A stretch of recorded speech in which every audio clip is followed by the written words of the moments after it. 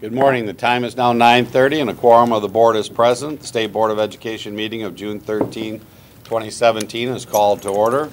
Approval of the agenda and order of priority. Is there a motion on the agenda? Lupe? I, I'm, I would like to uh, move that we um, delete. Remove the State Board of Ed bylaw change. Yes, yes. What, what number is that? Item P. Yes. It's been moved. Is there support? Support. It's been moved and supported to remove item P. Any comments or questions? Seeing none, all in favor in removing P, say aye. Aye. Opposed, the same. Motion carries. Is there a motion on the amended agenda? So moved. Second? It's been moved and supported to move forward with the agenda as amended. Is there any questions or comments? Seeing none, all in favor say aye. Aye. Opposed, the same. Motion carries. There is an informational folder item, uh, information on the Michigan Mathematics and Science Center Network 2015-16 Annual Report. No action is needed, but you do have that in front of you. At this time, Marilyn will introduce the members of the State Board of Education. Marilyn, please. Good morning. The State Superintendent, Brian Whiston, is on my immediate left. He's also chairman of the board. And as we go around the table clockwise, the co-president of the board is Richard Zeile. He resides in Dearborn. The other co-president of the board is Cassandra Ulbrich, residing in Rochester Hills. Board secretary, Michelle Fecteau, residing in Detroit. The NASBE delegate, which is the board's association, National Association of State Boards of Education, is Nikki Snyder from Dexter. The current Teacher of the Year is Tracy Horodyski, and she's a teacher in Kenowa Hills when she's not here. As we go across the table, representing the Governor's Office, the Strategic Education and Career Development Advisor is Tyler Sawyer. Next to him is Eileen Weiser. She's a board member residing in Ann Arbor. She is very close, on her way. And Lupe Ramos Montigny, board member residing in Grand Rapids. Uh, And also on her way, Pamela Pugh, board member residing in Saginaw. And next to me is the board's treasurer, Tom McMillin from Rochester Hills. I'm Marilyn Schneider, the state board executive. And as you did those introductions, I did want to mention that uh, uh, Lupe received an honorary doctorate degree from Mi- Midwest College of Theology, so congratulations, Lupe.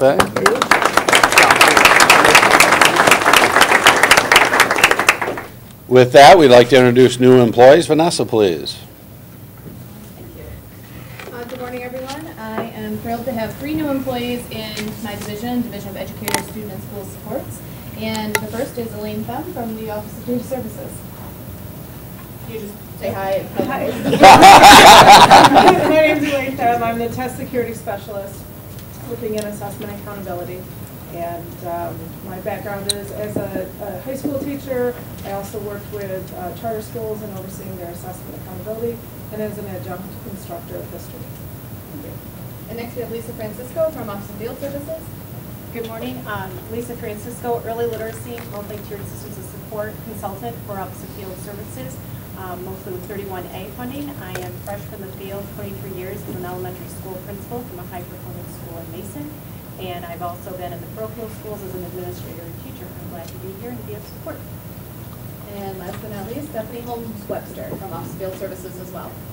Good morning, everyone. My name is Stephanie Holmes Webster. I come to you with 16 years of education experience, K through 12 as a teacher, district administrator, and also as a comprehensive reform model consultant across the United States. Glad to be here to help with the Office of Field Service for Special Populations. Did I miss any other new employees in the room? All right, let's welcome the new employees. Now I'd like to have audience members uh, introduce yourself. We'll start with Marty, please. Hi, I'm Marty Ackley. I'm the Director in the Office of Public and Governmental Affairs here in the Department of Education. Hi, I'm Chelsea Martinez, Director of Communications at the Secondary School Principals Association. Judy Pritchett, Macomb Intermediate School District. Oh, go ahead, on the side here. Oh, that's fine. Uh, My name is Bill Edwards. I'm here to support Dave Stewart today. Very good. I'm Dave Stewart. I'm here to support Dave Stewart. Wait a minute. How's that happen? Edwards, and I'm Dave Stewart's mother-in-law. Very good. Speaking of our Michigan Association School Board. Front row then? I'm Gina Wilson, with the finalist for the IMSA competition. Dave Stewart Jr., finalist. Ray Herrick, finalist Michigan Teacher of the Year. Jennifer Crowley, finalist for MCAS. Luke Wilcox, teacher at East Campbell High School. Uh, Jim Wilcox, father Wilcox. Paul Latrell, father-in-law. Carol Bottrell, mother-in-law of Wilcox. What's your name? Uh, My name's Jamie Wilcox. I'm a teacher in Northview and also Luke's wife. Oh my God, no. I'm Jenny Gordon, assistant principal at East Campbell High School. Kevin Bourdais from Public Schools, support group. Michael Mohawk from Kent Public Schools, support group. Omar Bakri, principal at East Kentwood High School, here to support Luke as well. Nard Murphy, I'm superintendent of Williamson Community Schools, and I'm here to support Ray Herrick. Dr. Jeff Vance, principal of Williamson High, here to support Ray. Nancy Gaskew, executive board member of the Special Ed Advisory Committee. I'm Barbara Van Sweden, superintendent of Fitzgerald Public Schools, and I'm here to support Jennifer Crowley. Hi, I'm Kim Serini, the principal at Fitzgerald High School, here to support Jennifer Crowley. Cheryl Corpus, an associate director with the Education Trust, here to support Gina Wilson. My name is Ellen Fisher, and I'm the principal of the Early College Alliance at Eastern Michigan University, and I'm here to support Gina Wilson. Back there in the corner, please. Uh, Josh Friesner with the Office of Educator Talent. I'm the Michigan Teacher of the Year Coordinator. Shelby Lee with the Office of Educator Talent. Jennifer Roble, Office of Educator Talent. Angie here, uh, wife of Ray Herrick. Joanne Herrick, mother of finalist. Ray Herrick, father of the finalist, Ray Herrick. Barbara Kendall, mother of Jennifer Crowley. And Bill Kendall, father of Jennifer I'm Brian McVicar with MLive.com. Caroline Lathan, Office of Public and Governmental Affairs. I'm Abby Ruff-Lazak, I'm the director of the Office of Educator Talent. Stephen Mask with the Office of Strategic Planning and Implementation. Kyle Brown, deputy superintendent for finance operations here at the Michigan Department of Education. Vanessa Keesler, deputy superintendent for the Division of Educator Student and School Supports. Susan Drummond, deputy superintendent, K through point of systems and student transition. Good morning, I'm Wendy Larvick, Chief of Staff to State Superintendent Brian Whiston. Well, welcome to all. Thank you for being here today. It's a great day of celebration of our great teachers, and we appreciate everybody being here. If you plan to offer public comment at today's meeting, please complete a form and get it to Marilyn. Forms are available at the table just outside of the boardroom, and they must be submitted prior to the beginning of the portion of the meeting devoted to public comment. Public comment will begin immediately following the lunch break, which is scheduled for approximately 1 PM today. Please be here at that time so that you don't miss the opportunity to to address your issues to the board. We now move to consent agenda. We have two resolutions that require approval before we move to the presentations. The first one is honoring Tracy Horodyski, 2016-17 Michigan Teacher of the Year. The other, the other is honoring Luke Wilcox, the 17-18 Teacher of the Year, and I will entertain a motion. So moved. Support. Support. Moved, supported. Any comments or questions? Seeing none, all in favor say aye. Aye. Opposed, nay. Motion carries. So now we'd like to introduce Tracy Horodyski, the 2016-17 Michigan Teacher of the Year. This is Tracy's final meeting. I can't believe a year has gone by. Uh, It seems like you just got here. She's been a valuable resource at the board table as well as uh, discussions on, at the table and at other places. And she's done countless visits around the state, uh, looking at the good things that are going on and sharing that. We certainly appreciate your passion, your advocacy for teachers, and certainly want to congratulate you and want you to give your final Teacher of the Year report. All right, sounds good. I have it after that. Okay. Let me just keep-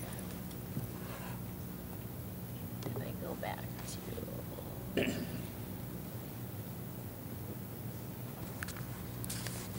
Um, Do you refresh it maybe?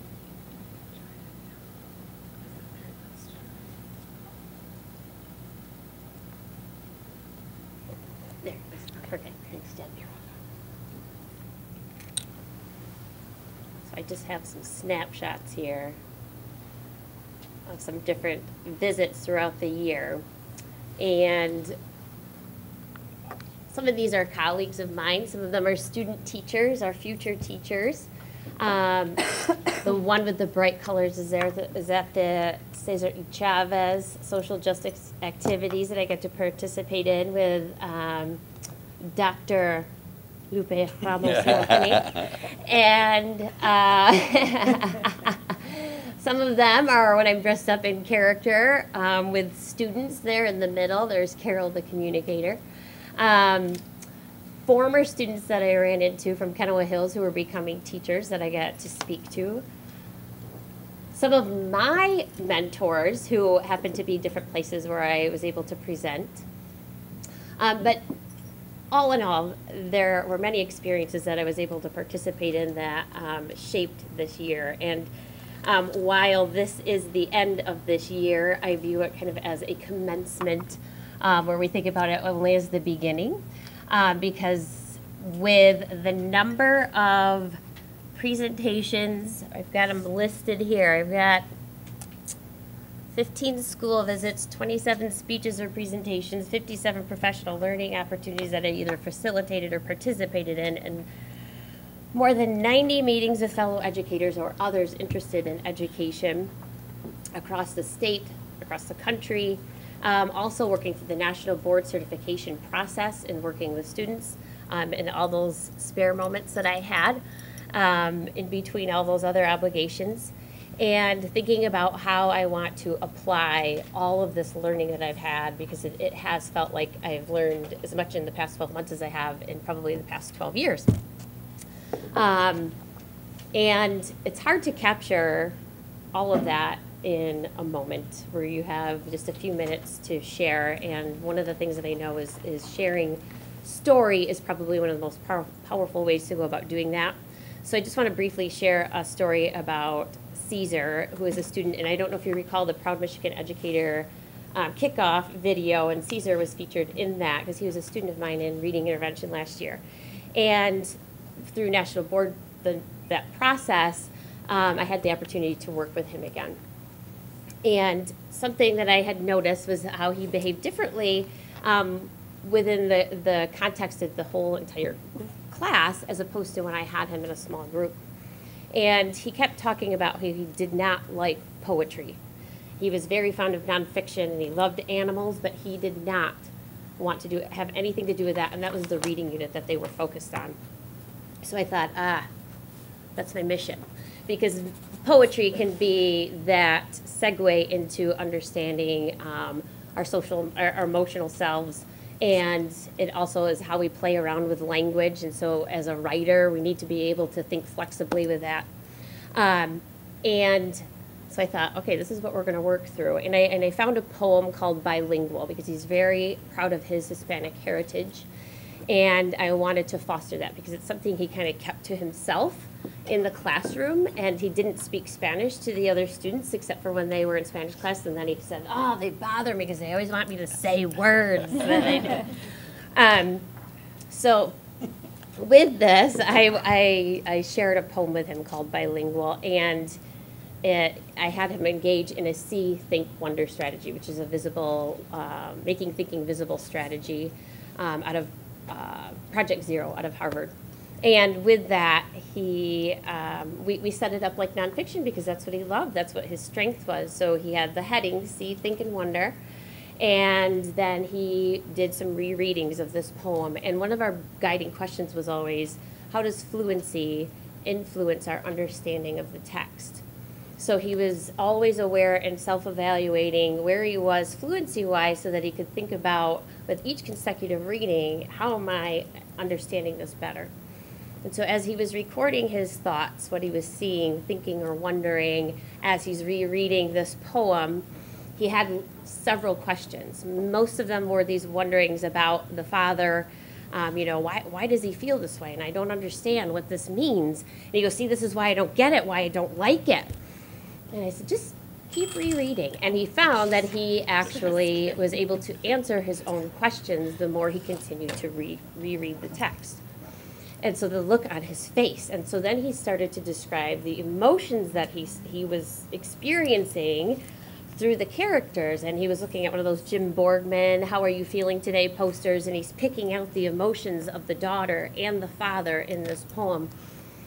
And as he's doing this, he's playing around the syllables in those words, and I'm like, I think you have the start of a haiku here. So he's like, okay. So he starts writing this haiku poem. So I have those to share with you here. Um, I'm not sure why I, this is not open. Here we go.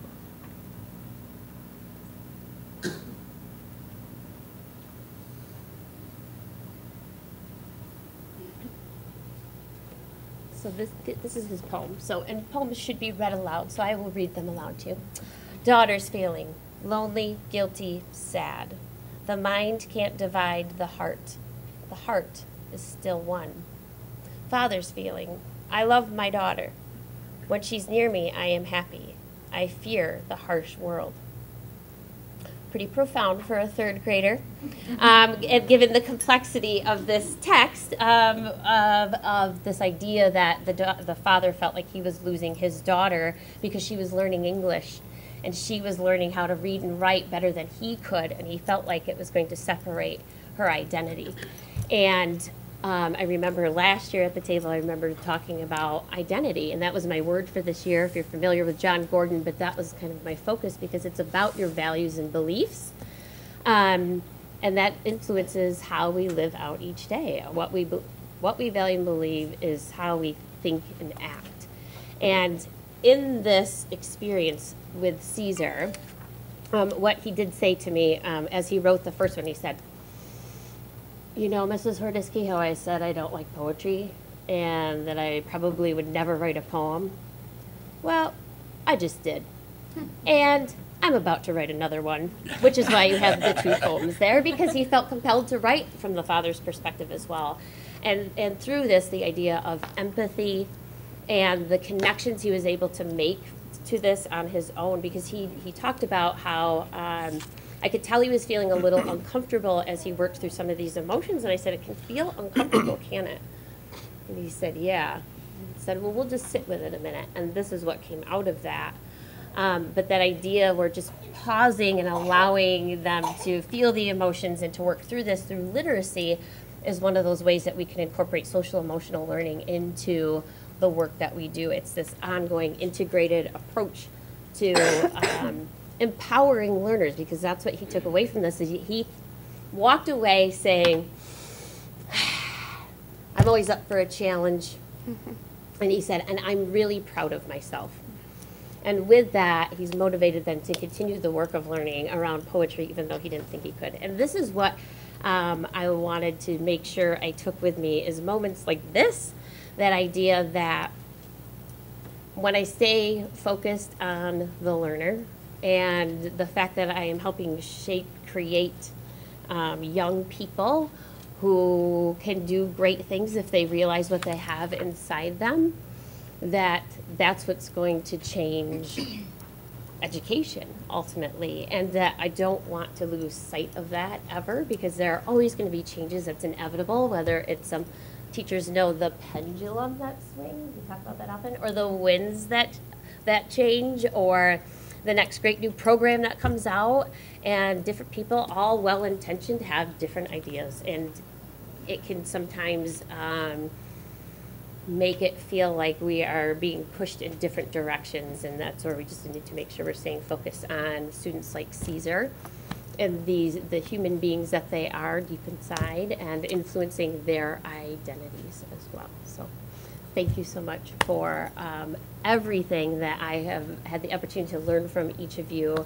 Um, it has been such an honor and such a, a humbling experience. And the more you learn, of course, the more you realize you have to learn.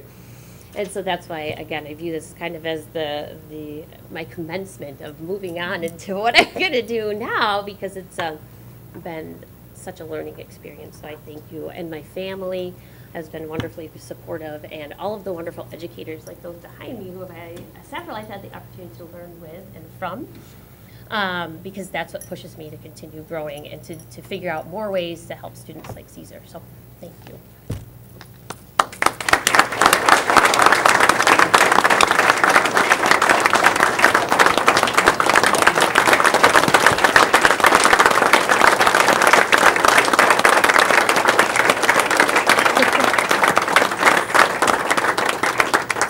Dr. Z Cassandra, I think you have a presentation.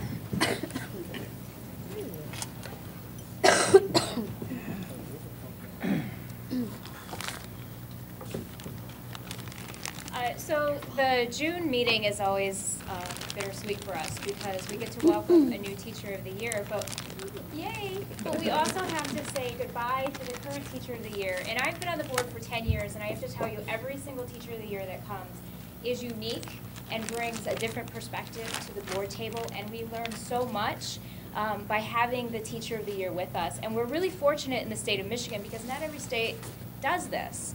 And um, it's to their own detriment because they don't get the opportunity that we get to hear every single board meeting from someone who is literally living the job.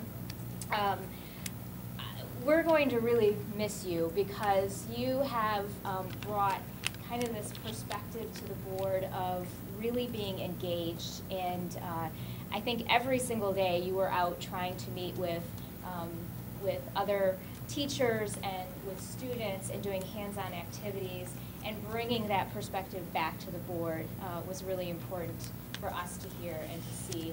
Um, but you also wanted to, you said, not only educate others, but also use this as a learning opportunity. And I know that you're, you're in your final stages of national board certification, which congratulations, that's really exciting.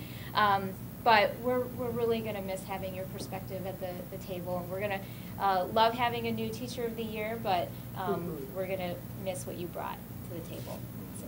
Did you want to- Just want to thank you for your effectiveness in uh, your personality as, as well as your deliberate actions uh, in projecting a real optimism about the future.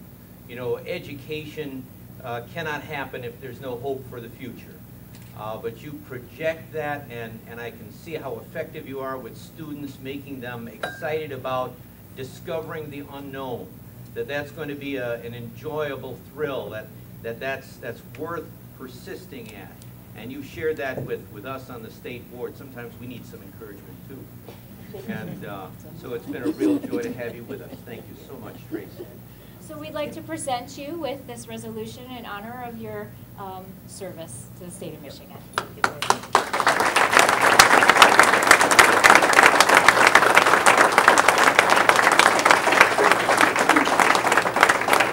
Brian, let's retake that picture. You had something on, your projector was catching Oh, you. projector. So if you, if you move closer to Cassandra. You should be more in the Yeah, middle. blue. Okay, that's good. There you go, blue, your face is I blue. can't see ya. Yeah, you gotta turn those. You gotta duck, that's basically. what See, it's- you it's- have it's to do. coming right in my I know. face. Why don't we go Keeps over following here? you. Nope, you're good. Oh,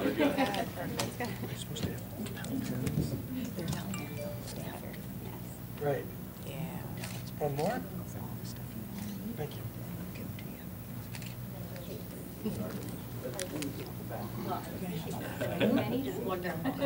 When you feel you need another meeting. Yeah. That's all right.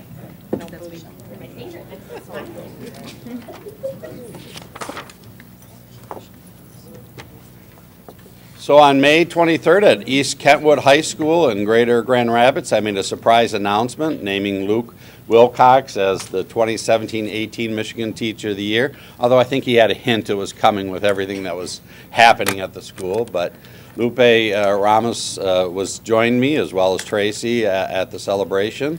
Luke is a math teacher and is described by his colleagues as living and breathing education. He has 15 years of classroom experience and was selected from dozen of uh, outstanding nominees statewide. So I'd like to invite Abby up to the table, and she's going to make some opening remarks about the announcement and then introduce Luke to us.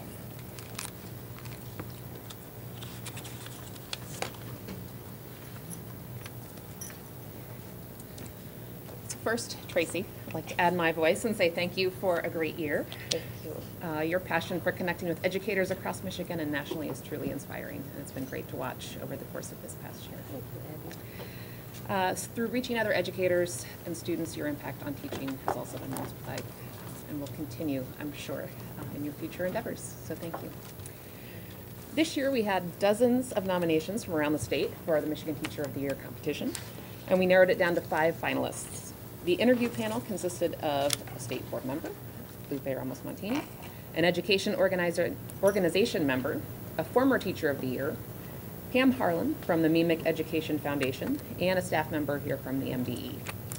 We now have a short video to show that will portray the excitement that followed the announcement of the Teacher of the Year at East Kentwood High School.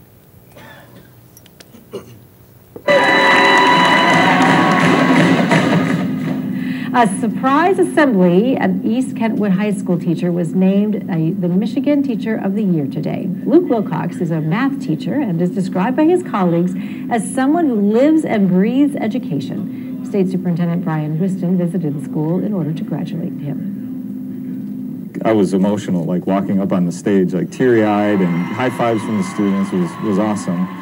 Uh, but I, I mean, I, I see this as a, a huge opportunity for me to uh, share the story of what we do here at East Kentwood High School, uh, and, and also to try and positively influence education in the state of Michigan. East Kentwood High School is also given $1,000 from the Steensma Agency on behalf of MEEMIC Insurance Company as part of Wilcox's recognitions. The Michigan Teacher of the Year is selected by a committee that reviews nominees from teachers throughout the year. A grand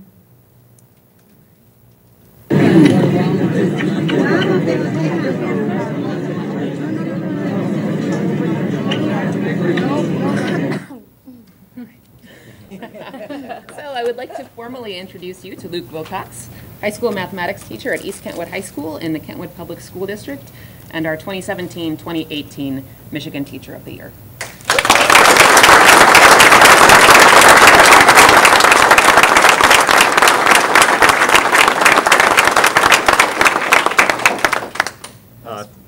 Yeah, thank you so much. I would like to point out that Abby is an East Kentwood High School graduate. I had nothing to do with the There- process. There was no, there was no overlap. We, we just, we, we checked the dates on that. But um, I'm, I'm absolutely uh, thrilled to, to be in this position this year. I can't tell you how uh, humbling an experience it is to be even just represented with these fi- f- uh, four educators here, but, but thousands of educators across the state of Michigan. And just to be considered for this uh, is, is, is really an honor for me. And uh, I, I'm so proud of what we do in, in schools here in Michigan. I'm so excited about like the opportunity to try and uh, uh, have an influence on that over the next year. And so I, I definitely look forward to, to uh, this, this crazy experience that Tracy is already trying to warn me about. But I'm, I'm really, uh, really, really excited about it. Thank you, Luke. Just wanted to note as well that accompanying Luke today is his principal at East Kentwood High School, Mr. Omar Bakri, and the superintendent, Michael Zoerhoff, and Luke's family and friends. So, thank you, Luke. We are looking forward to working with you in the upcoming year. And I'd now like to move into uh, introducing you to the four uh, finalists for the. Before you do that, I just want to say it was an exciting day at the high school. You could generally Yes. see Mhm. the excitement in your colleagues' eyes, the uh, the students, staff.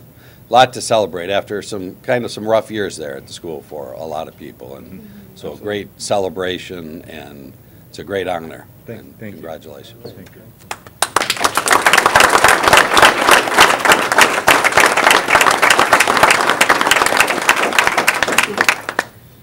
All right, for our finalists, would you please come to the table when I introduce you, and Superintendent Whiston and board members will present you with a framed certificate and a pin.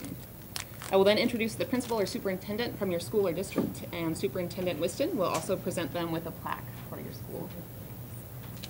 In alphabetical order, first is Jennifer Crotty. Ms. Crotty is an 11th and 12th grade AP Government and Economics teacher at Fitzgerald High School with Fitzgerald Public Schools.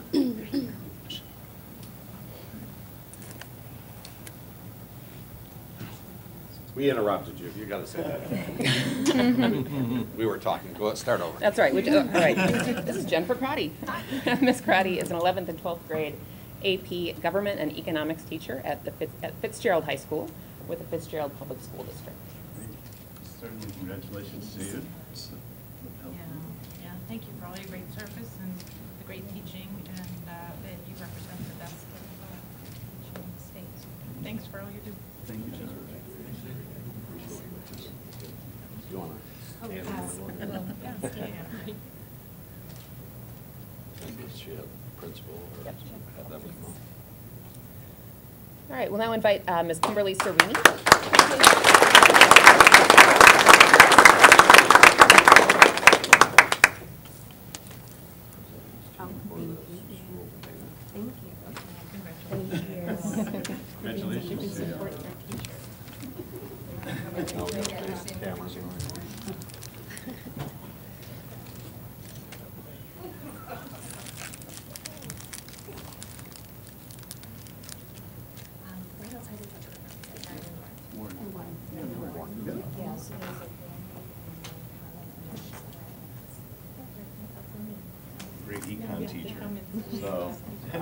She's econ and, and government. We like that. Yeah. Thank you.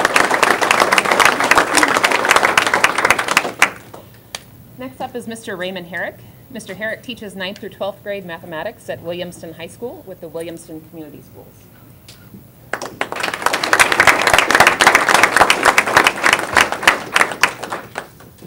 Pam's gonna do the flyers.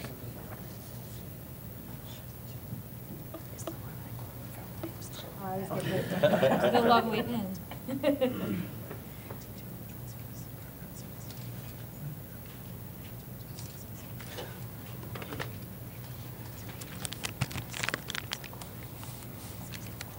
Congratulations. Thank you very much. Wonderful job. We with this, and I won't, I won't try to put it on. One of us will get hurt, so. But thank you so much for all you do, and, and uh, on behalf of the State Board of Education, congratulations. Thank you very much. Yes. Thanks. We now invite Dr. uh, Jeff Tanis to the table as well.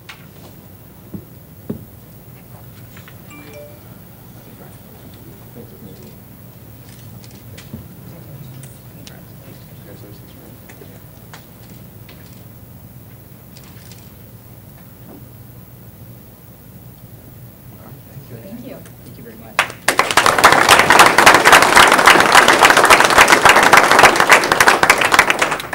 Our next finalist is Dave Stewart Jr. Mr. Stewart teaches world history and English at Cedar Springs High School with the Cedar Springs Public School District.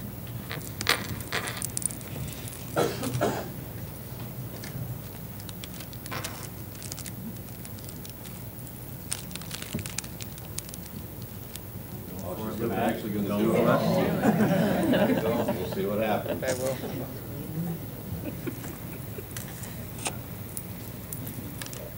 She's gonna have minutes.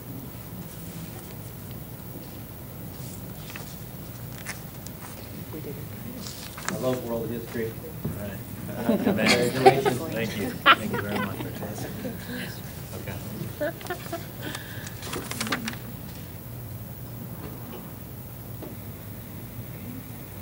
Wait, one more little bit. Oh, we gotta go. Dave Stewart Senior, do you want to get the picture with the plaque? Yeah. His principal's not here. Can we take a picture with Mickey? Yes, you'll represent the school district for. There you go. I wanted to write down their names. I was thinking they were. How you get your book?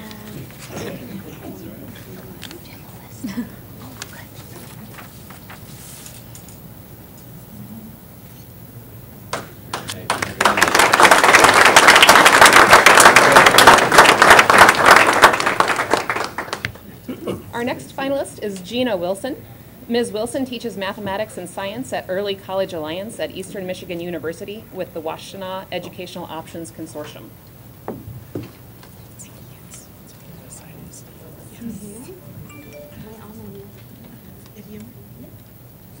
She's not gonna try and present. No. We already got several. Thank you very much. Thank you so much. Thank you.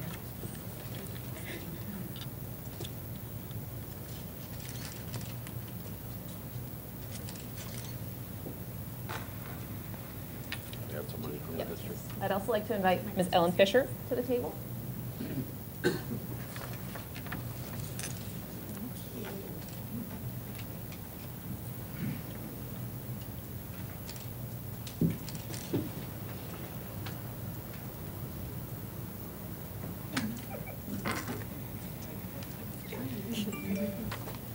You broke the camera.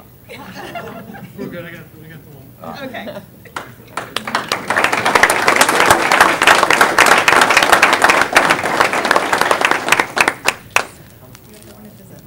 Yes. I'll I'll note that uh, Gina is also going to be featured in one of our upcoming Proud Michigan Educator videos over the summer, so you'll get to learn a little bit more about uh, her position and what she does. I'd also like to take a moment and recognize Pam Harlan, who is here with us today from the MEEMIC Foundation, which is part of MEEMIC Insurance Company. She is not here today, uh, but I'll tell you a little bit more about what she does. the MEEMIC Foundation provides tremendous support for the Michigan Teacher of the Year program.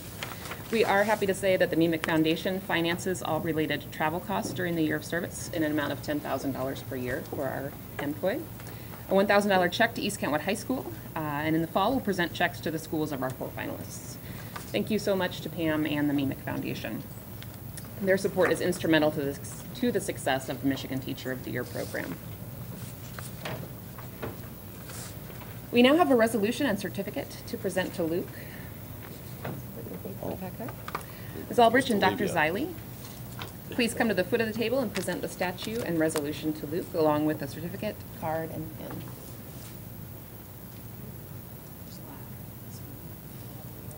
Okay. I signed this one, so I'll give it. Fair enough. I feel ownership.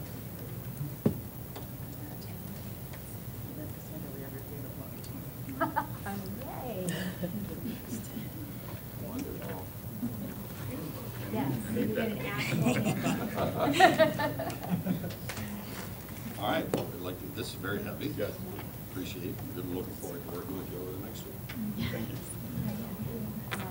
So, so we bring all of these things up to see how well you can actually jump. Balance Okay. Come on.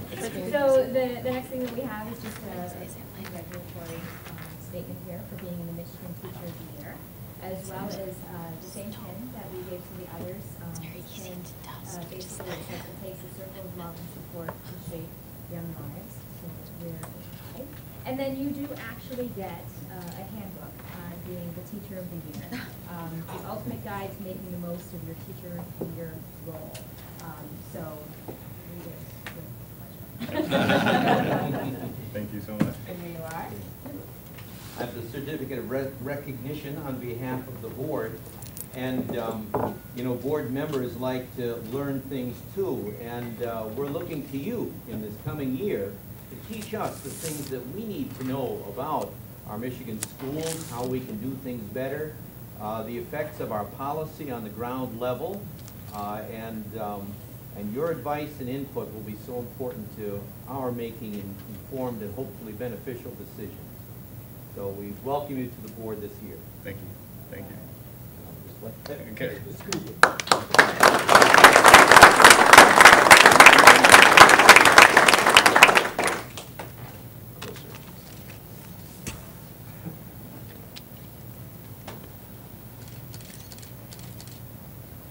I'd also like to invite uh, Principal Baxter and Superintendent Zoerhoff to the table. Give you this plaque so that you can hang it in the school, recognizing the teacher of the year. Good to see you again. Congratulations. Thank you for your good work and mentoring and helping him become. a Congratulations to the superintendent as well. They're mutually beneficial. Yes. Squeeze in, squeeze in. Get tight.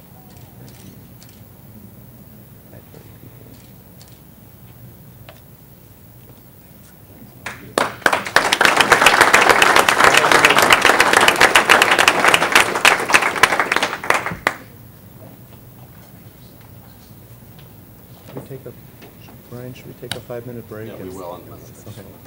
Do you have any additional comments? Well, I just, uh, the other teachers of the year recognized. Did you have any comments you wanted to make or anybody you wanted to thank? The other finalists?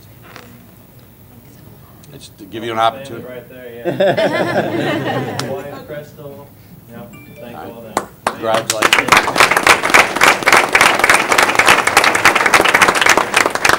Well, the best thing about this is we're going to take a five-minute recess, so you guys don't have to stay through the whole meeting.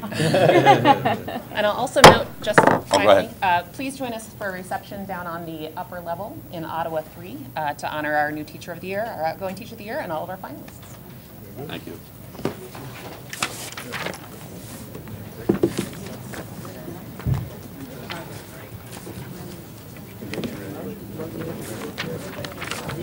By the going way, down the reception? Yeah, I'm going now. No, I'm, no, I'm going to Cardigan. Kim Trent?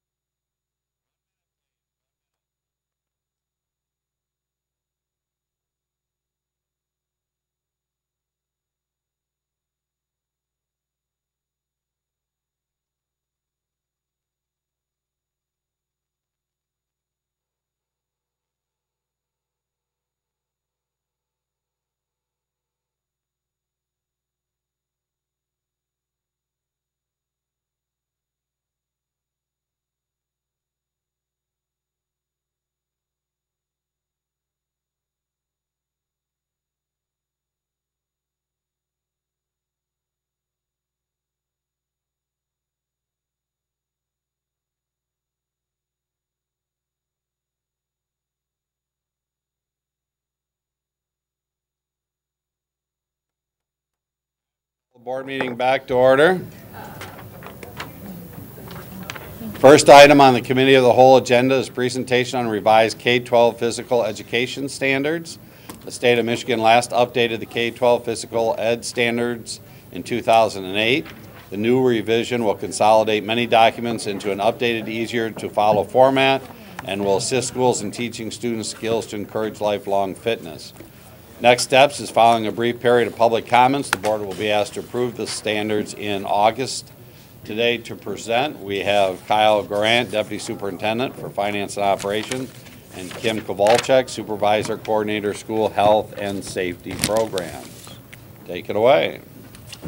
Good morning. Uh, Thank you, and we're excited to present the uh, draft standards for your uh, input and consideration before hopefully we can send it out for public comment. So we're just going to talk through a little bit about kind of what the state of of physical education is here in Michigan, uh, why we revised the standards, what was the kind of impetus and the process that we followed in in getting to this point today. Uh, The current uh, standards were approved by the board in 2007, um, so obviously that's a 10-year period where there's been, you know, changes and advancements over that time period on uh, effective and best practice uh, strategies for teaching uh, and learning physical education. Um, The Shape America, which is the Society of Health and Physical Educators, uh, which is the national uh, group for, for this work, uh, revised the national standards in 2013. So again, um, a lot of, a lot of uh, shift in focus, a lot of uh, changes have happened at a time that we would like to incorporate in our standards here in Michigan. As part of uh, our plan, Michigan's plan for to be a top 10 uh, state for education in 10 years, uh, the plan specifically calls out the need for a wraparound or, or educating the whole child. Um, and physical education is obviously a large por- portion of that. It's really contained in goal four of our top 10 and 10 plan. Our ESSA plan and, and uh, pieces of the legislation around ESSA specifically name physical education as an integral part for a well-rounded education. And really the, the, the biggest change you'll see in the, in the revised standards is really moving our physical education standards to reflect an emphasis on cooperative learning and physical fitness uh, that allows for a focus on personalized learning and gets away from um, a more kind of sports-centric um, physical education class. So uh, we really want to try and uh, teach students skills to be uh, physically active throughout the lifespan.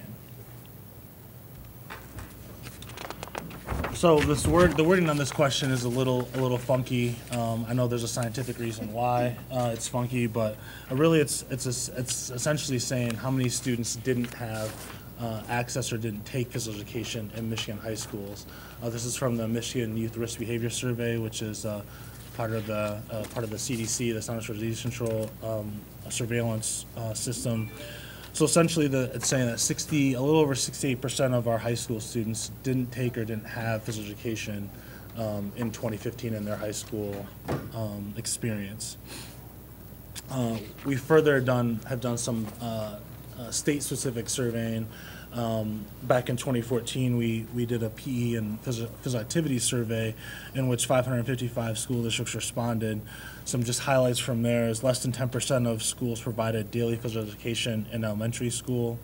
Um, when you look at the national standards for a number of minutes that students should receive, both at the at the elementary level, at the K-5 level, it's recommended to have 150 minutes per week, and at the secondary level, which is grades 6 through 12, it's recommended to have 225 minutes per week. Only 17% of our high schools met that benchmark uh, in the state in 2014, and the majority of our of our K-6 are elementary buildings. Uh, 61% provided 90 minutes or less of physical education per week. So um, we're not we're not unlike uh, uh, other states in the sense of physical education and the amount of time spent um, for students to be uh, to be in physical education in our state um, has has diminished over the last 10 years, um, and it's really at all-time lows, especially at our elementary building levels. Uh, This, this set of data is from our our 2016 school health profiles, which is also a CDC-sponsored surveillance tool. What, what this graphic is really saying is, for our students um, that, um, you know, with the half credit uh, of um, physical education that's required as part of the merit curriculum, where are students taking that class at? And as you can see, the majority of them are taking that class um, as freshmen in high school, 92 uh, percent of high schools are offering that required class there. There is a, um, some growth in the middle school level as, as we've seen, uh, the ability to teach that content, um, before you get to high school. Um, to, you know, kind of a personal learning track to, to do some of the credit taking before they reach high school. And you can see the significant drop off after, um, their freshman year where you get into tenth, eleventh, and twelfth and it's, um, drops off significantly. With that, I'm going to turn over to Kim to talk a little bit about the process that we went through to uh, develop the standards that are before you today and, and some, highlight some of the uh, key changes. Thank you. So a little over, oh, a little under a year ago, we started the process pulling a stakeholder group um, to meet, to review where we were at, where we wanted to go, and uh, review the standards that have been uh, put out nationally by Shape America, the professional membership group for health and PE teachers. Um, as they progressed um, the, through September through January, they had a draft document that was developed and, and, and revisions by uh, the professionals in these in the field um, for them to get these initial drafts for review and revision. I just want you to see a, a sampling of the partners from institutes of higher education, um, educators in the field, and from professional groups. These represent elementary, across the grade span, elementary, middle, and high school experts in these areas. Some of the changes that um, you'll see throughout the document that's been provided in front of you in your packet.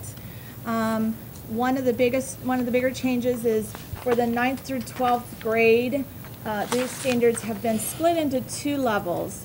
Uh, the level uh, one standards are minimal knowledge and skills. It's your basic that helps students get the necessary skills uh, and support they need um, for career and college readiness. Level two builds on that. It allows for if you want to take PE for a full year rather than a one semester, you don't have to retake uh, the level one or the basic uh, PE that's offered. You can take a more advanced and something more interesting and that can be um, flexible or um, individual for the, for the students. Another change Kyle started to also mention is it's not, they're not sports focused and only team sports or on a particular sport. It allows for the professional uh, judgment and the professional um, expertise of teachers to help students meet the skills and knowledge goals to get what they need um, to be to be well-rounded students uh, for now and for in the future. It allows for that personalized learning that um, students need to be career and college ready. Um, one specific call out is around water safety. This is a, a national discussion as well. Um, due to a wide range of availability of pools in may or may not be in schools, um, this recommendation was removed and left the local level to decide if it's kept in um, what is taught in PE and to the um, uh, professional development of the instruct the teacher as well. So it's a, it's um, aligned later uh, with along with the teacher prep standards in PE as well. And one other change that you'll see, one last notable change, is at the beginning of the document on page eight, there is an emphasis that talks about the link with the importance of PE and supporting uh, students to be career and college ready for the future. future. Um, it goes beyond just motor skills and knowing how to do the competencies um, at the various levels, but also goal setting, interpersonal skills, um, stress management, building confidence, things that helps kids succeed in the classroom and into the future. Um, and it aligns with other content areas that um, may also focus on those skills. So for us, we've brought the, the, the draft document to you today to review and consider. Um, we would take it out for public comment, for the 30-day public comment.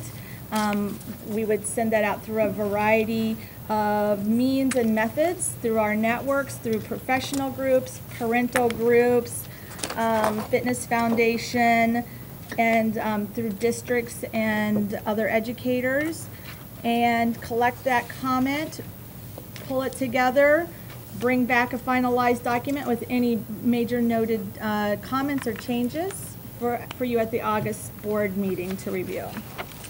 One thing I forgot to mention earlier, Kim mentioned briefly too, uh, the um, item that will be before you later today on the preparation standards for teachers of uh, physical education. That the the internally, um, you know, Kim and her folks and folks from Teacher Prep um, have worked jointly, and as we've redeveloped both the professional preparation standards for physical education and the standards for students. So there is uh, uh, a lot of, there's total really alignment of um, what we've, we're, we're proposing to require of students in, in higher ed as they go through their preparation program on how to teach these new content standards. So just wanted to call out the fact that, you know, internally we've been aligned and have been working together to make sure that those two efforts are, are coordinated. Questions of the board? Go to Brian. Dr. Z and then Tom, please.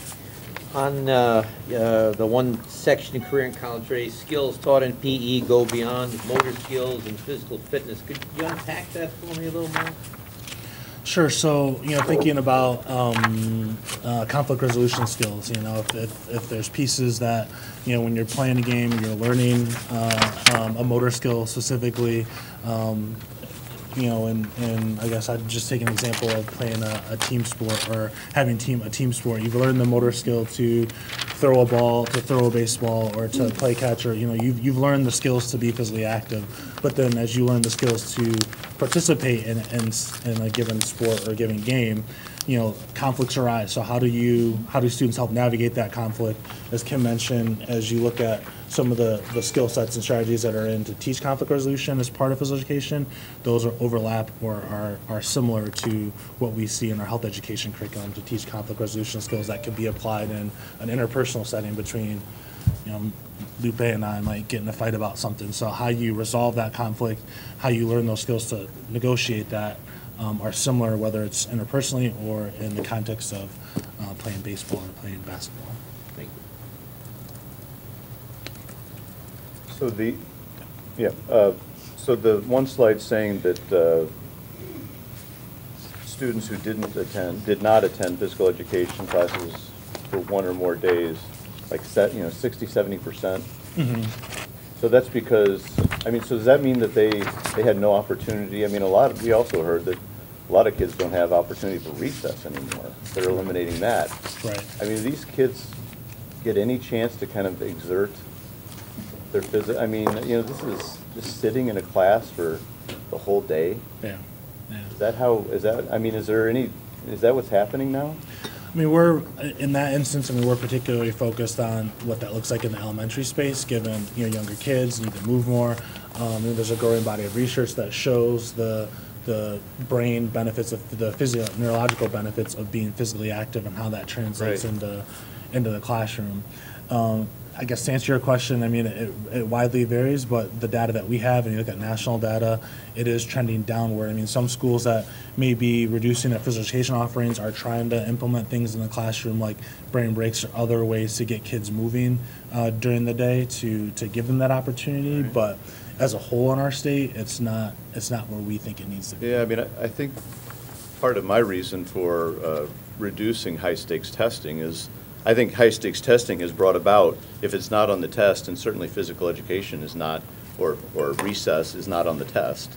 And so they just eliminate it in order to make sure that their kids are getting a higher grade on that one, one exam. And I, I just think this is one of the, of the downfalls of high-stakes testing, is that uh, you get kids sitting all day uh, be- in order to try to do better on that one exam. It's just, I, I'm glad that we're moving away from that, this board is. Yeah, and I agree with that, Tom. I mean, there's, kids need to be moving, but even a lot of, uh, you go into a lot of elementary classes, and while the teachers are doing brain breaks and are doing exercises during classes every 10 to 15 minutes, because we know that stimulates the brain, but we agree with you wholeheartedly that there's been a reduction in art, music, gym, uh, over the last And decade. recess. And recess, and it's not a good thing. Right. I have Eileen and then Nikki, please. Um, Well, I would third the lack of exercise. I, I, uh, at one point was assistant Cub Scout leader for my son's troop, and the only way that we could get these kids to focus was to run them around the building three times Mhm. after school ended before they sat down, or else it was hopeless. Right. Um, But uh, I'm concerned about water sports a lot. Um, uh, Unlike every other sport that's in here, uh, water's the only environment that kids aren't going to be trained in anymore, and you can drown easily, and you can be spotted with lakes. Uh, I understand the national push on this, is a democratization effort because schools can't afford facilities, but I'm, and I think, I suspect that any, any uh, schools that have pools and have teams for swimming and for water polo will continue. But this is a real concern of mine. I Mhm. think it's a dangerous move, and uh, I don't know that we can address it. Um, But I'm, I'm hopeful that, um, that thought will go into pushing schools to find a way in August, to find a nearby lake even, just to acquaint kids so they can float. Um, I think it's a, uh, an oversight that we'll regret.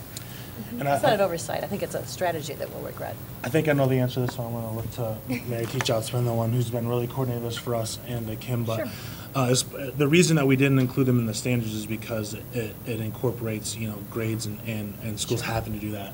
That we have resources, there are resources for schools that choose to teach uh, water sports as part of that. They have the facilities or they have the means to, um, to do that, how to do that effectively. So um, while they're not necessarily included in the standards, there are, there are um, standards like documents out there to help schools that want to take this on. So, um, and I, I guess I get the other part of your question of, of like pushing or encouraging folks to make sure they do that. And, you know, when you look at um, our schools along the shoreline or, or counties along, the co- you, you see them. All our lakes. Yeah. All our inland lakes. of lakes. And I I just worry about it because of course they can't teach it during the year when, when lakes are frigid. But if you've got a nearby body of water, I see no point in pulling back from this in a way that might say to people, you don't have to do this anymore either.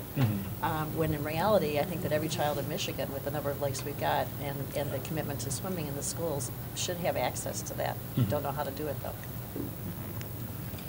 We have Nikki and then uh, Dr. Zena Michelle. I was going to echo Eileen's sentiment. Um, Right as I was looking at the standards a little bit further last night, there was an article about four people dying over the weekend um, on lakes in Michigan, so anyhow. But the other question I had um, on page five, it talks about uh, revising the standards um, to allow for personalized learning. Can you help me to understand that a little bit more? What would that, what is your, your guys' foresight in terms of how those standards would play out in that type of environment? I'm going to ask Mary to take, the tackle that one. Um, yeah, A lot of what we're looking at is, when you look at the K-12 span of the standards, the elementary is really focused on kind of that skills-based, teaching the kids, you know, the hand-eye coordination and the tracking and the skipping and all of those things that are skills-based. Once we get up into the secondary education, it's gonna be more um, personalized focus, looking at their own special interests and, and how to motivate them to stay more physically active throughout their life. So we could be looking at teaching them how to use heart rate monitors, how to use Fitbits, and try, just trying to really explore how they can find something that interests them, that keeps them going. So would it, yeah, would it be within a, a specific class um, time, or would they have the opportunity to do? Yeah, I, Um, I I, guess. I think that's gonna be where the locals, um, that local control piece is gonna come in. They're gonna work in the class to teach them how to get those basic fundamentals, but then hopefully the schools and the communities will be working to show them what's available to them outside to be able to continue. So there is opportunity for them to essentially pursue their Yeah. passions and own endeavors. That, that is the goal. And/or, so if you think about um, high school, secondary, your schedule, you'll have um, the first semester, the PE class that everyone may take, participate in to get your, all the basic skills. If you want to take a full year of PE, you might have a, a- a- the second semester, you could select from choices of classes that are more of interest to you. So um, one student might be interested in more of the class that's focused on dance. Another student might be more in the weight and conditioning for the second semester, and that can help really build on things that they want to enhance more. So that gives them this second level, so they are getting more than the basic and something that can be individualized from them. Dr. Z and Michelle, please. Michelle. Michelle, please. Thank you. Um, well, I had a couple of questions. One, um, with an eye of, um, what can the board do to help support, um, providing more physical movement and activity in the classrooms? And what can we, you know, what, what does the department, um, have any recommendations about how to get, how, how we can do that? I know we're talking about the dashboard and we've got, we're putting extra things, we keep adding more things. But, um, in, and, uh, I, and I, I know, um, the requirements for graduation, you say it's only, uh, one half credit, that's a requirement? Is that have for high school? I know we've had some changes in that, but I think it's combined with health now, right? Yeah, it is. It's one credit of health and PE, and that's a half credit for each For content each. area. Okay, and the requirements for the, um, like the K twelve, or K six, or Yeah, K eight? it's really vague in the state, It's for health and PE, when you look at K eight, it just says that it has to be established and um, offered in all public schools of the state. So that's, that's pretty much the extent of the legislation. The State Board of Ed passed a policy in 2012 um, on physical education and physical activity that's much more comprehensive, that 2008. addresses recess, that addresses recess before lunch, um, as well as the national recommendations for the recommended minutes. So there's a pretty um, good comprehensive policy that the board passed a few years ago. But Okay. legislation-wise, it's pretty vague. Maybe we should look, look at those. So I I did have a couple of specific questions. So the swim, um, in, uh, water sports, uh, do- our teacher prep, is that dropped from the teacher prep now? Um, it, I'll have to be on that to ask Sarah, we can, we can talk about it more when we get to that teacher prep piece this Okay, afternoon. okay. Um, But yeah, it was, it's kind of this, it's this push to, schools really were giving some pushback when we had the standards as well, because they're like, I don't have the resources to do this, so we wanted to keep them in the standards. There is an acknowledgement about how critical they are, and especially, um, if you look in the introduction, there's a piece that says what's not covered in the standards, and we talk about the water course and acknowledge that Michigan is a water state, so we really strongly encourage schools to continue to look at ways to provide that, um, but kind of taking it out of the standards to take away the pressure of those schools that. So, but we won't have teachers that are, that could even, I mean, they're not being required to have that as part of their certification. They weren't before. Um, So it For wasn't. PE, um, for PES, if, if they were gonna teach sports, we have a guidelines document for swimming, um, that says that the teachers, in order to be able to instruct in that, had to have a lifeguard certification. And if they didn't have a lifeguard certification, they had to have a lifeguard there. Um, And we always recommend that they have a lifeguard anyway there, because it's hard to teach thirty kids in a swimming class. and, Right, yeah, you know, yeah. Keep eyes on the safety piece as well. So those were guidelines that were already in place before the revision of the standards. Okay. And just to echo some of the things that Tom has said, because I remember when I was taking some tours, especially with the EAA, with this new year-round schooling, and we're talking about this, you know, this year-round, um, and then, you know, people uh, encouraging more class time, extended days, and Mhm. extended year. I'm really concerned that there, it's, it's, um, it's restricting their opportunities to engage and just play and um, having fun. So I, I, um, and I like the idea of people taking, um, you know, becoming physically aware, but um, it- just to have that unstructured play and, um, and opportunities for movement. I was just talking to one of the physician educators at Wayne State yesterday, Dr. Rossi, Noreen Rossi, and she's saying so many of our ailments can just be cured by regular physical activity. Um, And, and uh, so I- I'm just, and and going back to what I started with, if there, you know, I'm wondering what we can do to help encourage, encourage that or insist on that. And I'm, I, uh, it's, um, so I'm open to any suggestions you might have Mhm. um, to how to, how to do that. I think it's very important. I think some of those recommendations are already contained in the policy, in the board policy for Okay, so the PA. board I mean, policy, there's, okay. I mean, it comes down to, I mean, re- resources, right? Time as a resource in terms of the amount of minutes that students have the ability to be taught to be physically active, um, time to um, um, exert those, be- uh, exhibit those behaviors, whether it's in recess or um, or before and after school, you know, and then, you know, the dollars to actually support schools Well, and do there's that. I mean, ways those are the partner. biggest three. Yeah, I'm thinking of ways to partner with uh, resources in the community. Mhm. Um, You know, Boys and Girls Clubs or whatever, some of those are pulled out of our city, unfortunately, um, Mhm. uh, of Detroit. Um, But if there are ways, if, like, uh, to encourage i- that communication and opportunities for kids for, um, to be engaged in, in things in the community, so. We can put down some thoughts on paper for you that we have and- and share with you and. get And your then there's feedback. one last one, because my daughter is a PE major. Hmm. She's having a heck of a time passing the teacher prep. And she's an awesome athlete. Um, She's much, and I talk to teachers in the PE program at Wayne State, and they say, you know, their students are, are gifted in some things, not necessarily taking tests, um, or scoring, uh, you know, a certain score in a certain test, which she's got to pass in order to even take the advanced classes in her program.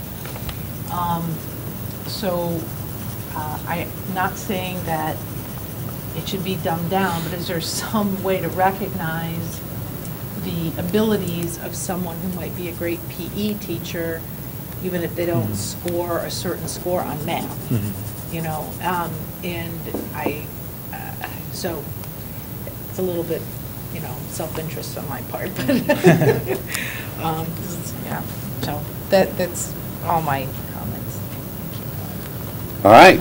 I Tom? just have one on process, just so I know, uh, because going out for standards, it- I'm new on the board, so I want to make sure I understand. And with the teacher prep, I started understanding a little bit about it. But what will happen is, and is it statutory or policy of the board? And then you go out and anybody can uh, make comments? How widely, how aggressively do we look for comments? Like, is it a little hidden, you know, if you want to give comments, or is it a, you know, do we try to get it out there somehow? And are people given the opportunity to put their name? I think the ones we got for the teacher prep, I think they were all anonymous. Do they have to be anonymous? Can they give their name if they want to? And then finally, do they get a receipt so that, you know, if I tell them, look, I, I got the comments, I- which you get, which was forwarded to me for the teacher prep, Mhm. and yours wasn't on, you know, I didn't hear anything. You know, is there a way to, that they can know that they, that the board or that, you know, the MDE got them? A lot of, co- a lot of questions there, but, but it's a process. I really need Yeah. to know what, how Yeah, this it's a good works. question. Typic- It's a good question. Typically, our, our process is, you know, we'll, we'll do an, some version of electronic feedback as, as part of it, right? So we'll have an electronic survey either through SurveyMonkey or we, we use other services that allow, um, general public, anyone that, uh, that we will promote through our communication methods through uh, Marty's office, um, and work with our networks to say, if you're interested or you know people are interested, you can go to this place and provide comments. Um, we also will, uh, reach out to specific, um, groups in this area that are working in this area, whether it's the Governance Fitness Foundation or other groups that are, you know, working and have them send it out to their membership to try and promote it. Um, we work with, um, uh, a group, Parent Action for Healthy Kids, that works on engaging parents around, you know, kind of health and school climate and culture pieces. We will have them work their networks to reach out specifically to parents and, you know, kind of pick, pick professional groups that we would, again, reach out with and try and get them to promote it through their networks. Um, and then we usually have it out between, uh, you know, 30 days is usually our standard timeline to leave it open for public comment. Um, if you do the um, electronic version, you do get a receipt that, you know, thank you for your submission, so people know that, you know, it's been, it's been submitted. Um, And there's, um, in addition, on the, on the public what- release, if people c- don't have access to computers, but they do hear about the comment period and they have access, um, there'll be an address, they could submit written, paper comment, or fax. So we want to make sure they have multiple methods to I mean, submit. as a legislator, I felt this was the most important, because we, we don't know exactly how it's going to affect the local, at, at the, on the ground level. Mhm. And the people that'll actually be impacted by it are the people that I value most hearing from, and I want to hear everything. And so I've always pushed to be very, how, how can we be more aggressive? Is it a policy? How, how do you just determine, is it a, is it a formal procedure? Did the board set that, or for when we go out for 30-day public public comment? comment, Do we, is that something that I can, That's- is there a policy that I could see? That's, I mean, it's been the board's practice. I don't know if there's an actual resolution or policy related to public comment or the structure of public comment across Okay. the spectrum, but If that's, there is, that's I'd been like our to see our it. Yeah, there, I don't think there's anything written. It's just a process we've used per the board. Thank you. And- And because Tom and Nikki are coming into this, because of the special ed rules uh, promulgation a couple of years ago, and the, um, the problems that we had reaching the right people uh, well, and it, with all of the variables, faxes, letters, uh, social media, um, the, the department has been extremely proactive and has added uh, everything that has ever come up as a Okay. possibility. Good. Uh, It doesn't mean it couldn't be listed and given to us, but I, it's, they've been extraordinarily good about trying to find new ways of reaching people. Okay, thank you. Dr. Desi, going back to you, did you have anything?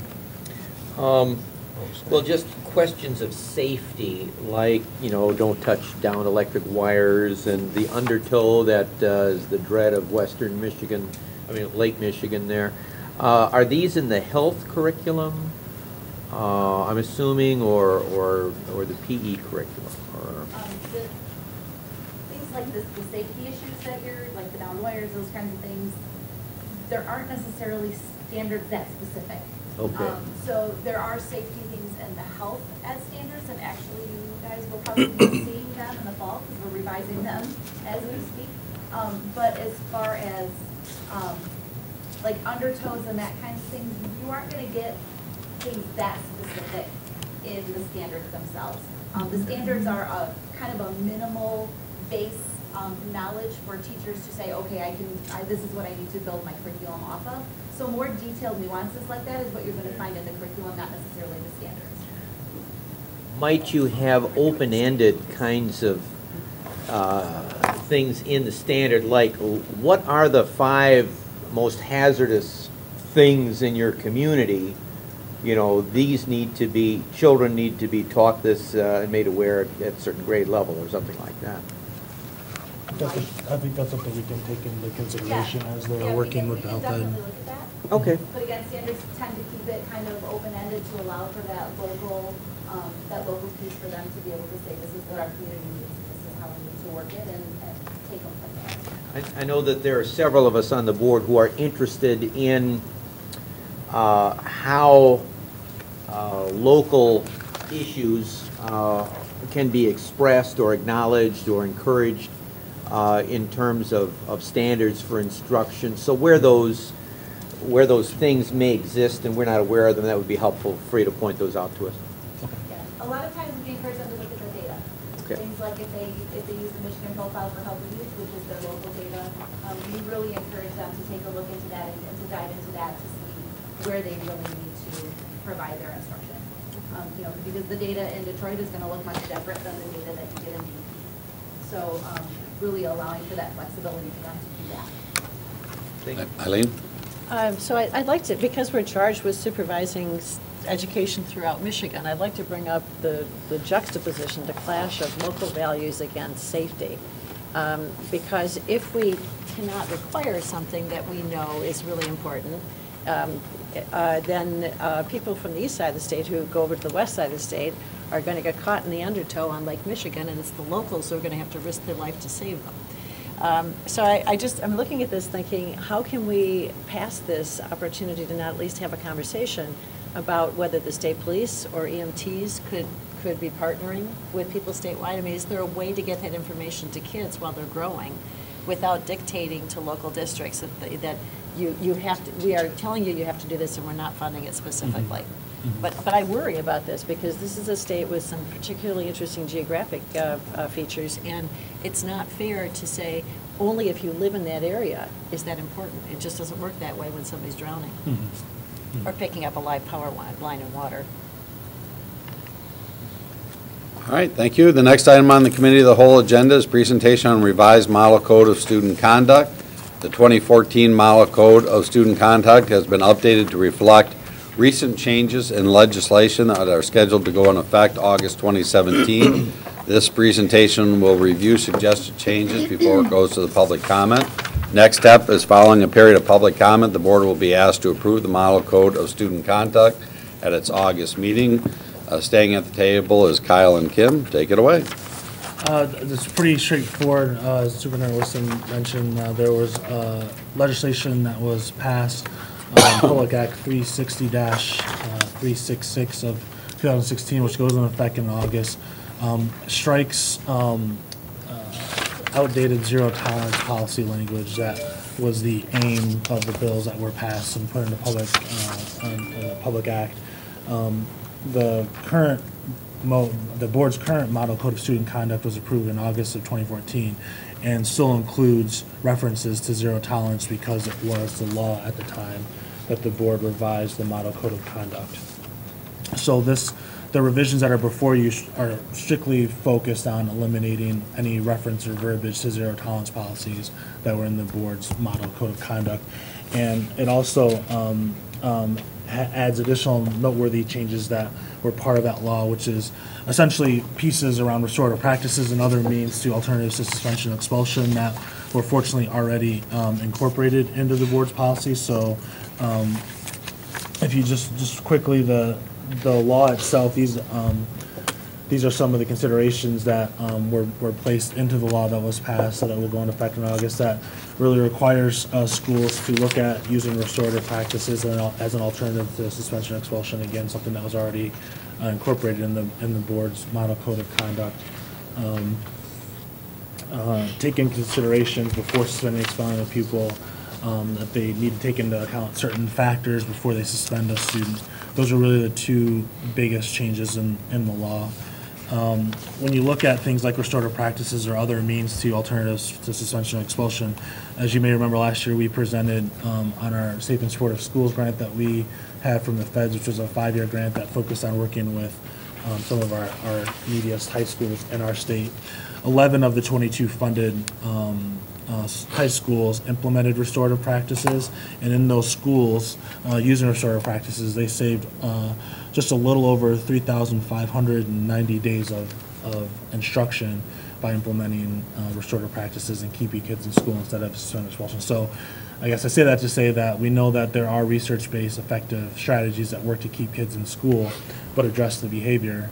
Um, and that's really what the law changes were aimed at, was encouraging and uh, making schools take into account those pieces before they suspend or expel a student.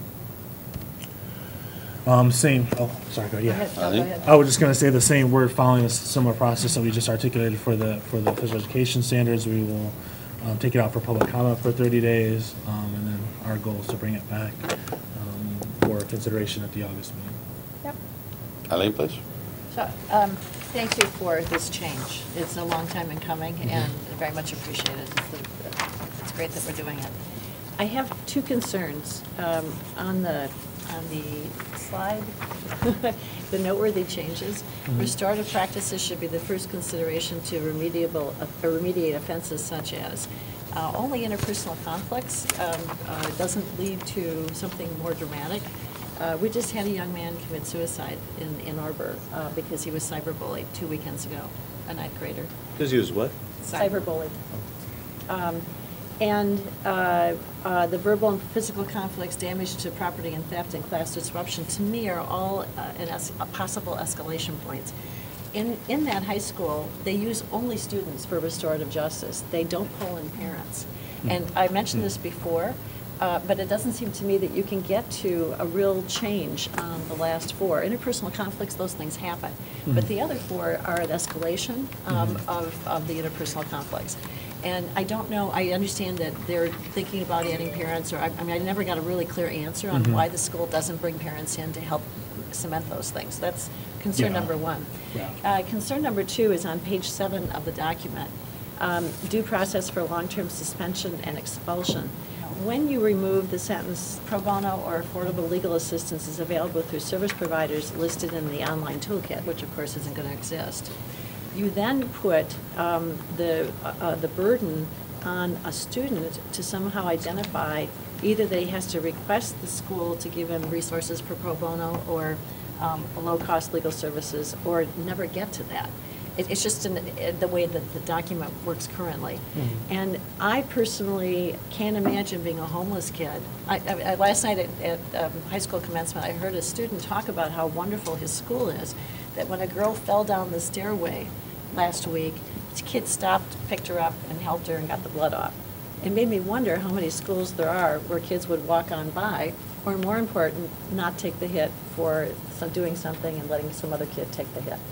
And I, I worry about the, the, the- an unintended weakness of the document. It seems to me that if there's a way to say to schools, um, a list should be provided, uh, but something more proactive on this, because uh, where, where- where pro bono or low-cost legal services are available in the community, a list should be provided to the students. Is that something that we could do and and not be in violation of any funding requirements or? Uh, Yeah, I think so. I mean, can can you go? Yeah, and a lot of times they already do do that. Um, This document is more for stating that we will not continue the list just for capacity reasons. Um, But usually we partner with like groups such as like the Alliance for Students and Families and things of that nature, for the, the Michigan Alliance for Students and Families. And they usually have updated rosters of that. So it's just not a duplication of effort, but theirs is always updated. So we usually refer to that agency to get that information.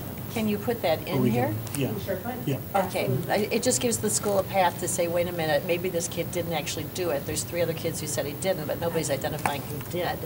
And he shouldn't have to take the hit without somebody, uh, an adult being able to help him. Absolutely. Great, or her. Thanks. I don't know whether you want to address the first point. The, this, this, that there are. Oh, yeah, there are sure, yeah, you adults- wanna- Like straight out of the legislation. I mean, that piece is, but I think But the we're. restorative practices involving parents, um, so that it, it can look in many different ways. Um, Again, best practice would be bringing the students and families together. Um, But depending on the severity of the situation, it might, uh, de- determined by the district and the school building or the, and the uh, administration, it, it, it it might be a situation where this one is with an advisor, an administrator, and the students resolving together on their own as well. as far as our work is concerned, I mean, we've funded schools or, or we work with places like the dispute resolution centers, I mean, parents Mhm. are engaged. So I, I guess I'm saying, I don't know why they weren't engaged in this situation, but best practice wise, what we promote is that they are engaged as part of that process. So, um, I think, I- we've been involved with a situation somewhat like this, but the, the problems we encountered in the school district encountered is that the FERPA makes it impossible for, just depending on the situation and the parties involved, to share student information. And unless the parents want to come together and resolve the issue directly, it won't get resolved if one side of the, one party will not. So restorative practices, including parents, is really key, but then there are other uh, issues that pop up Mhm. in terms of sharing student information and parents coming together. So how will we attack that, I guess? And, and I think we need to, because if there is an issue, an ongoing issue of physical violence, it needs to be addressed. And it, and it can only be addressed if the parents come together and agree that there are certain boundaries, like we don't punch each other in the face, we just can't do that. And if it keeps happening, how do we make it stop? Um, so, you know, I think that, I think we have to tackle that in terms of FERPA and how, how do we empower administrators to bring those parents together? Because I know a number of people that have gone through situations like this, they don't ever come together. It just doesn't happen. It's so uncommon. And, and in our situation, um, with my son at school, I, I kept saying, I'd like to sit down. I'd like to, all of us sit down and agree that, you know, there are certain ways to resolve conflict and there are certain ways we don't. But we couldn't ever make that happen. And it, and I think that we kept hearing things like privacy laws and different Mhm. things like that. So I don't know how we do this Mhm. unless we address that. Mhm. And, and unless we empower administrators to say, this is how we're gonna address those barriers. Because it would be wonderful for everyone to be able to sit down and just say, hey, let's, let's work this out. But I don't, I think that piece is really missing. And that will really keep communities separated until we uh, address that piece. So. Michelle, please. Um, And thank you for Right. this work, and I, I, um, I, I was involved in some of this. um, And uh, I, I do believe we, the zero tolerance policy, um, because it doesn't provide due process and fair consideration, um, it, it's, it was never a good idea. But I, I had some questions about the, um, the actions that are um, to be considered, or the, the things that are supposed to be considered. Mhm. What happens if a school doesn't do that? Which, uh, If they which don't, if they don't actions? take, if they Uh, don't do so these. the Oh, this, consideration. I'm sorry, I shouldn't have said it, actually, but that- that, that they have to consider the age and. Yes. And, and, and the restorative practices. So if they, if they're completely ignoring this or just not really doing it, um, I- I guess what's the oversight and consequences? From our perspective, for- as a department perspective, there's no authority or stick if, if there's no process for us to uh, uh, work with schools who don't take those considerations into account. Uh, The law simply just says you need to do this. So um, the, that oversight, that kind of course correction is something that is, you know, kind of placed on either parents or guardians of, of kids if they don't feel like that's been addressed. Parent could Yeah. use this to go to the school board or something like that. There's nothing, there's nothing in- in the legislation that has outside entities, whether it's us or some other local group that has purview over, well, I don't think you, school district, did what you were supposed to do in this situation. Here's what we're gonna do to address that.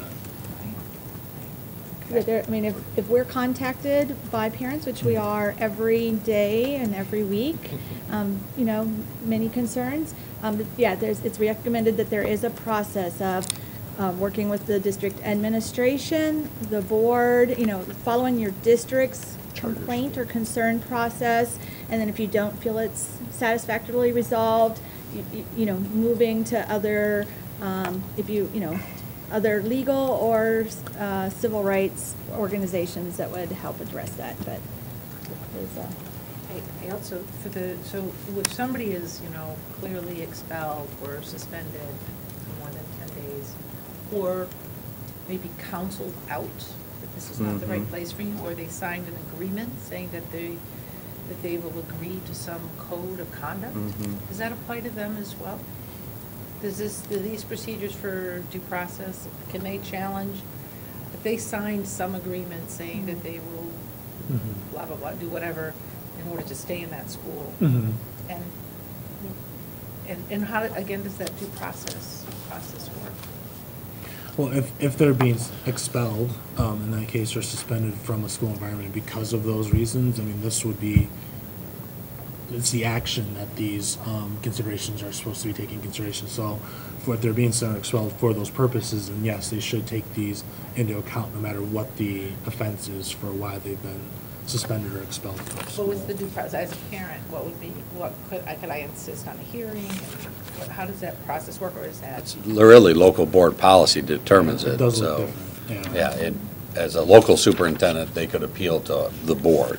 In my district, some districts you appeal to the administration, so it's really up to local district policies to determine what the next step is for parents if they're not pleased with the decision. And usually before there's an expulsion, there's a hearing where parents are called in, the student involved is called in, and uh, whether it's before an administrator or the Board of Education, it's kind of like a mini trial where the facts are put on the table, parents and students can respond, and then the, the board and/or administration makes a decision.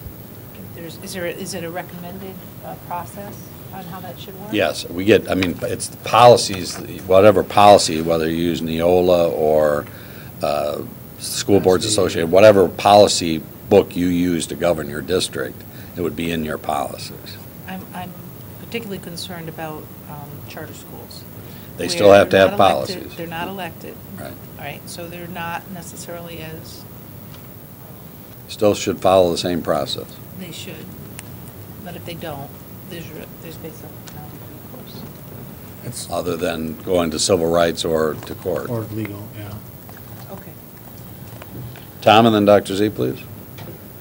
Um, And I, as a charter school board president, I was involved in some expulsions, and it's, I thought that was, uh, I mean, the the lawyers were very, you know, making sure we did everything by the book and stuff, but I, we have heard, you know, we've been at uh, gatherings where we've heard that after count day, all of a sudden kids get expelled for, you know, or, you know, counseled out.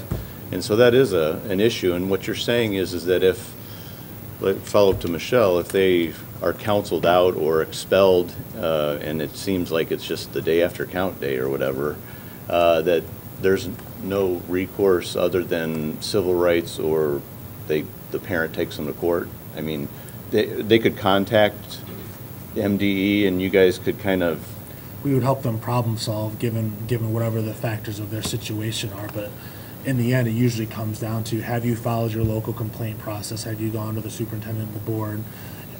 Maybe you haven't got resolu, if you haven't gotten your resolution there, then it really turns into, I mean, if there are civil rights related factors involved, then we would counsel them to reach out to the Office of Civil Rights or legal action. I mean, that's usually what it boils down to, those two tracks. in a standard, we can't, I mean, I'm a little bit conflicted or needing to understand the line between statute and standards, so I need your help with this. But, so we could not put something in here that says, if you expel a child, then you must provide this document to the parents that says, if you feel that you, this was not fair, we can't do that in standard, it would be a statute?